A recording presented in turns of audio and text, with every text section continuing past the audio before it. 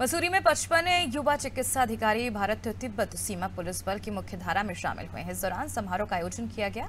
इस समारोह में मुख्य अतिथि और वरिष्ठ अधिकारियों ने युवा अधिकारियों का उत्साहवर्धन किया और उनके उज्जवल भविष्य के लिए शुभकामनाएँ दी। बता दें चिकित्सा अधिकारियों को कठोर और लंबे प्रशिक्षण के दौरान सैन्य और पुलिस संबंधी विषयों का गहन प्रशिक्षण दिया गया, जिसका श्रेय पीएस डंगवाल, महानिरीक्षक, निदेशक, भारत तिब्बत सीमा पुलिस अकेडमी तथा इनकी प्रशिक्षण टीम को जाता है।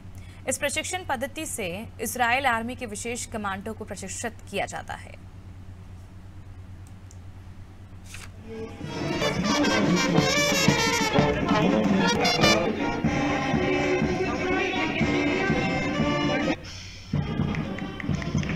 भारत माता की जय के उद्घोष के उपरांत की कहानियाँ की प्रेम गीत रुक गए। पढ़ो की आज